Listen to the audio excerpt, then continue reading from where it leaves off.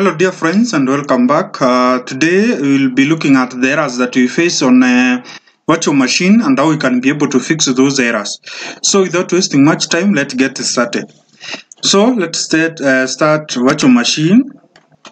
So when you click uh, start virtual machine, this will open up and uh, these errors that you get from virtual machine for example when you click start button after creating your partition you'll get an error saying that uh, we uh, virtual machine has uh, has been unable for example this error this error failed to open a session for the virtual machine failed to open uh, a session for the virtual machine ubuntu server so how can you be able to fix this error so for example, if also I go to the settings of the same, you realize that I have uh, two errors down here, or uh, not two errors, one error. That is uh, system uh, acceleration page as an error. For example, the hardware virtualization is uh, enabled the hardware virtualization is enabled in the acceleration page. So for example, if for you to be able to fix this uh, this error,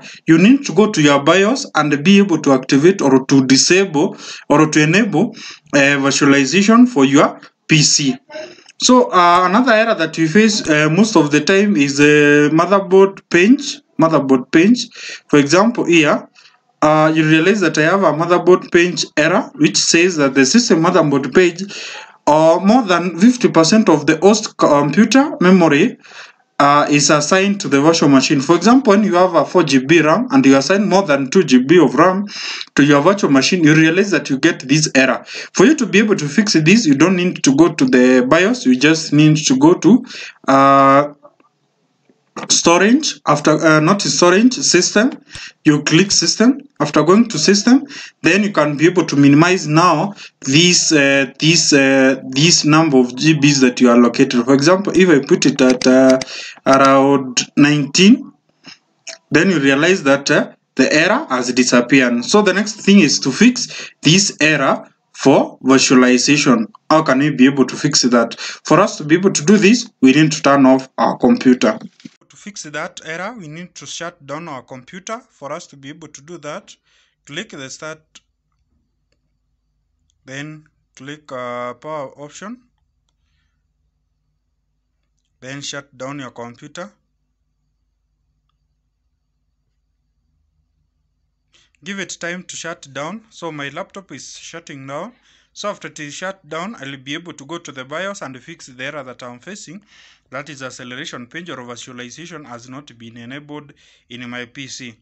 So mine can take some few minutes to shut down completely. So I'll give it some few minutes for it to be able to shut down completely so that I can be able to turn it on, then press F10 in the uh, in my case i will be able to use f10 but for example if you're using for example dell you're using uh, lenovo you're using other other other type of machine you can be able to try other keys. For example for dell you can try f12 for lenovo you can try f uh, f2 and so on and so forth. So make sure you know which key to use on your machine.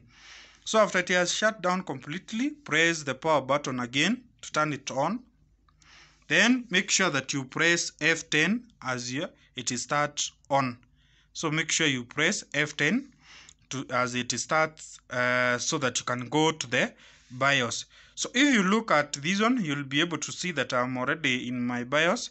So I'll go to I'll go to system configurations, system configurations, and uh, under system configurations, you realize that uh, this one, this is a virtualization technology, you realize that it is disabled. So our task is to enable that one. So select it by drop down uh, by using the arrows, then click it, then select enable, then click OK. So it has been automatically enabled. So make sure you save your changes. For you to save changes, you press F10 again. So press F10 to save changes. It will ask you to confirm, then click OK. So after you have clicked OK, it will take some time for it to open so that you can be able to see if it is working perfectly. So let's uh, let uh, us give it time so that it can be able to start and so that you can enter the person go again and try to start virtual machine after you start virtual machine we try again to run uh, for example the, the the the distribution or the or the virtual operating system that you have installed to see if it is operating okay or it has another problem. So let's give it time to open. After enabling uh, your virtualization technology open your virtual machine again and try to see if the error has been fixed by going to your uh, to your settings and checking for the errors that we saw in the uh, in just a minute ago so let's start our virtual machine. We give it some time to start. Then at, uh, after it has started then let us click on settings. When you go under settings you realize that there is no error that you need to fix down here. So you can proceed with the process of installation and you can install your operating system successfully. Thank you so much for watching. Please make sure you subscribe